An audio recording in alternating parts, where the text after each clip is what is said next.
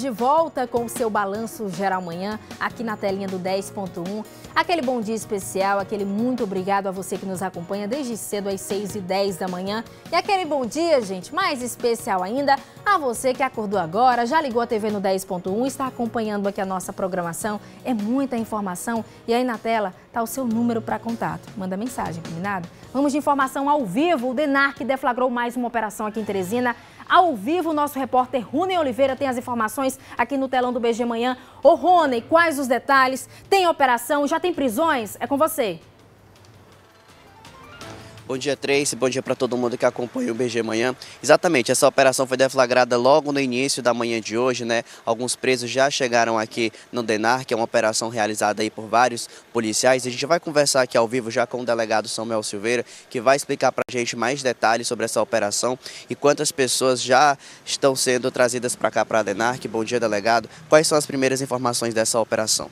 Bom dia, ação número 10 do DENARC 12 mandados de busca, 5 mandados de prisão e a gente está naturalmente ainda em diligências para saber a quantidade geral de presos. Mas acreditamos aí que deva figurar entre 8 e 9 presos até o presente momento. E o trabalho ele é continuado. Semanalmente o DENARC ele vem se esforçando para dar a resposta adequada, seguindo, é claro, a determinação da Delegacia Geral, a determinação da Secretaria de Segurança que é usado o enfrentamento ao tráfico como um mecanismo eficaz para a redução dos índices de violência. E aí destacamos a questão do assalto à mão armada e também o homicídio. Delegado, é, essas pessoas que estavam com mandados de prisão, a gente tem alguma noção do que esses mandados eram recorrentes a quê? Tráfico de droga, é, roubo? Veja só, esses, essas pessoas são integrantes da facção Bonde dos 40 e particularmente se envolviam é, tanto na disciplina como na parte do tráfico em si.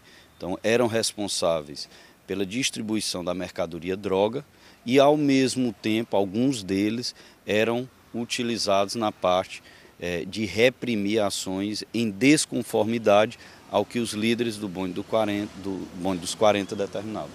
Nessas prisões, a polícia conseguiu apreender algum material? O que é que foi trazido para cá? Não, as diligências, elas elas continuam, né?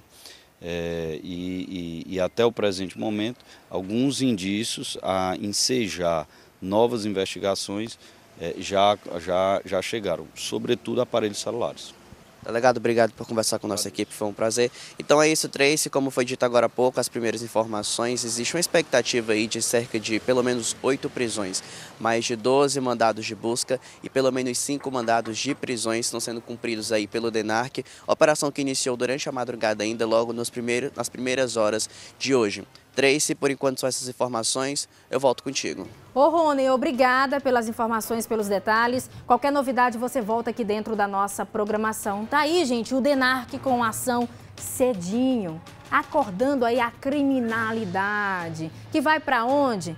Pra cadeia, gente. Você viu aí a quantidade de presos? Cinco pessoas presas, faccionados do bonde dos 40, com esse relacionamento íntimo com o tráfico de drogas. O DENARC faz isso, é essa ação contra o narcotráfico. E é isso que a gente precisa sim aqui dentro da capital. A gente percebe que a polícia, aos poucos, ela vem adotando estratégias. Primeiro, com essas operações relacionadas ao roubo e furto de celulares. E está dando resultado.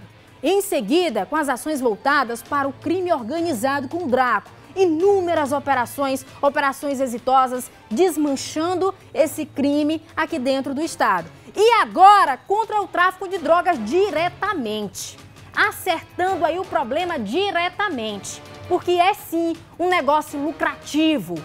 É lucrativo e segura essa rede de criminalidade em todo o estado. Tá aí o resultado, prisões acontecendo e são várias várias operações e linhas de investigação. Você viu? Semanalmente a gente vai entrar com informação quentinha, porque o DENAC está na rua.